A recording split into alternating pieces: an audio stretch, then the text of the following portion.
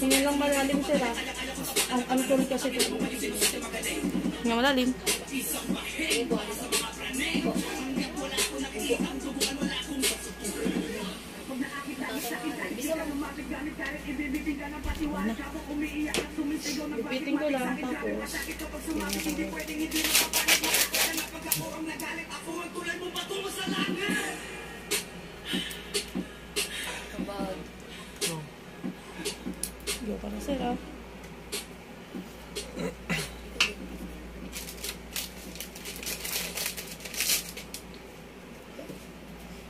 lang natin. I think empowerment is really just realizing your capabilities and your potential. To live my dream, that's the definition of me being a lang malalim sir ah. passion is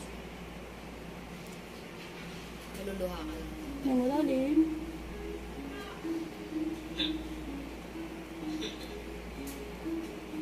Ito kilos.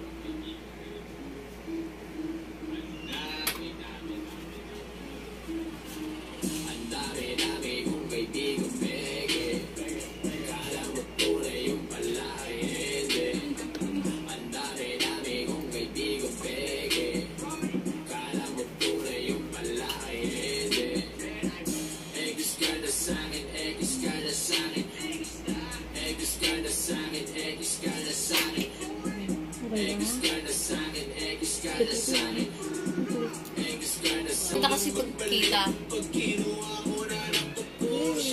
Yan ang tama. Hindi nakasayad sa